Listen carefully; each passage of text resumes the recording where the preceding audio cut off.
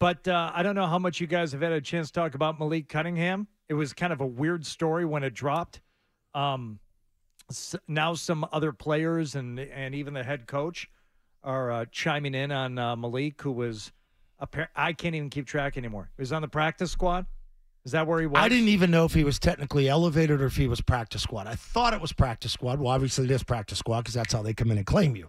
If you're on anybody's practice squad, this is what usually happens this time of year.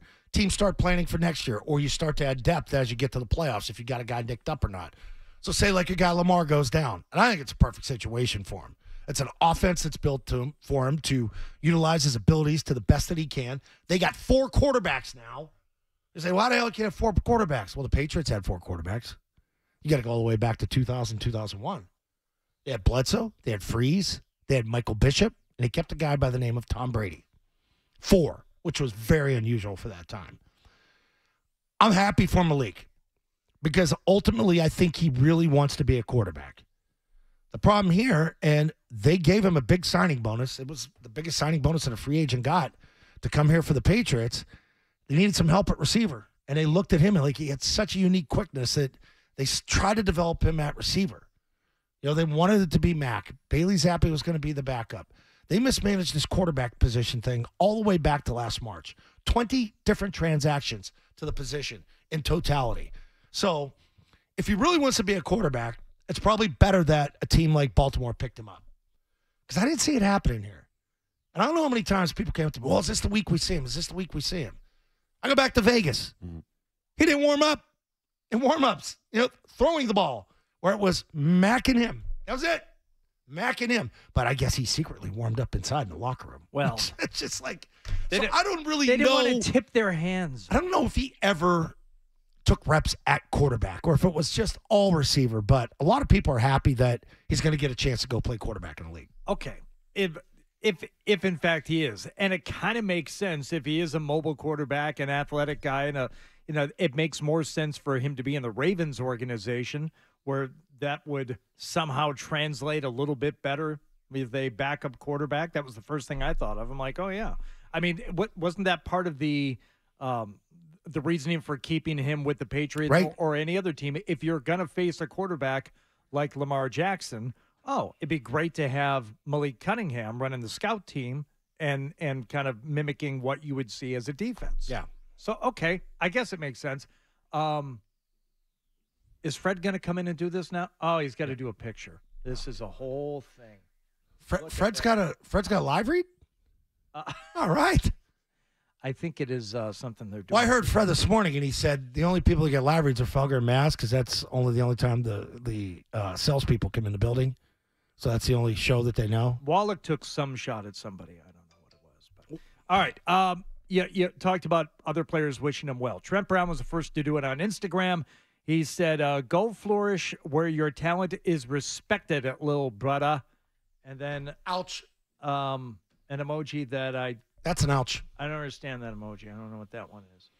And then 4L, thanks, love, peace. So that one that one's kind of an ouch. Obviously your talents are not respected. Where you're respected. okay, you're obviously your talents are not respected here, so go where they are. What is Trent Brown doing? Is it is uh, Shoot his way out. It, I mean, it's it's What- it's what- fait accompli here. I what mean, are you doing? I don't think he, they were going to attempt to sign him back. I think you're going to go in a different direction to tackle, whether you draft a guy or go get another guy. But that's just a dude telling you, like, yeah, we're here at the end. Season's over. We're not in the playoffs. Hey, good luck, man. Go go where you get respect. Not here. strikes me as a guy who thinks they've the team's been playing Malik Cunningham at the wrong position. Which to me is is really the story here. If this guy was a quarterback, and by the way, I'm not convinced that he is. What? Because there was one preseason game where he looked good in the fourth quarter Two against a, Two against series. two series against a bunch of guy, bunch of guys who aren't going to be in the league and aren't in the league. Like we're really going to put a lot of stock in that. The only second guess here is taking a look at him as a wide receiver in the preseason and saying, why did you think this guy was a wide receiver? Why didn't you move him back to quarterback full time? Keep him mm. on the practice squad. Why did you keep trying to make this guy a wide mm. receiver? He's not that. Here's here's here's my question, and I and I know it's not only Trent, but I've, I've heard Zeke talk about him, Juju, like, oh, this dude's explosive. Wait do you see him. they probably see it during the practice squad plays. Like he probably makes some superhuman play, you know, in air versus without pads on, but runs around, probably throws it 70 yards, and, and, and the practice squad guy catches it. So you're like, ooh, this dude can play, you know? So, I mean, that's really what they, they have to go off of because we have not seen him in game action. And any brief game action has not been good. Like the jet sweep thing and um, Vegas, the Vegas plan was not good to have him. So that seemed to be like a waste of time. Oh, hold on a second. Uh, Matt Oh. McCarthy, what do you think of the uh, Malik Cunningham uh, uh, being claimed uh, from the practice squad, and uh, now Malik is with the Ravens? What are your thoughts on that, Matt? I'm sorry that you didn't give me my headphones until just now.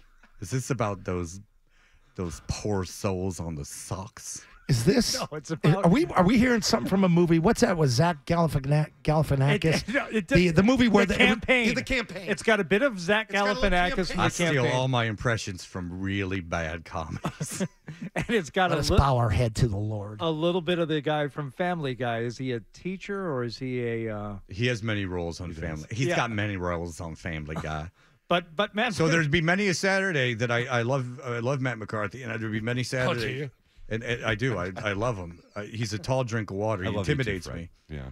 And uh, no, I love listening. I don't know him, but I love listening to him. And then, but I'd be listening on a Saturday, so that's the only reason I could do this. You'd be like, I'll just tell you this much. I'll tell you that this Chaim Bloom is, I'll he. It's a mess. I mean, geez, Louise, this whole operation has gone cuckoo. He's for the birds. Can you, McCarthy? can, can you do the rest of the show in that voice? I could try. he kind of does. That's kinda just cool. Can you does hear it? Can you hear it? And he's like so mad, and he's like, you know, ugh, pitching more like ditching pitching. Stinks. They stink. He's awful. I do Six one seven there. seven seven nine zero nine eight five. If you can take it, you sons of guns. Thank you. All See you. Fred. Thank Bye, you, Fred. Fred. Okay, yeah, that's enough. Who's in the morning tomorrow, Fred?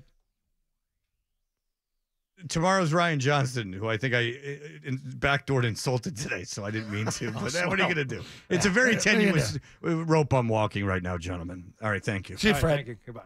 All right. so more on.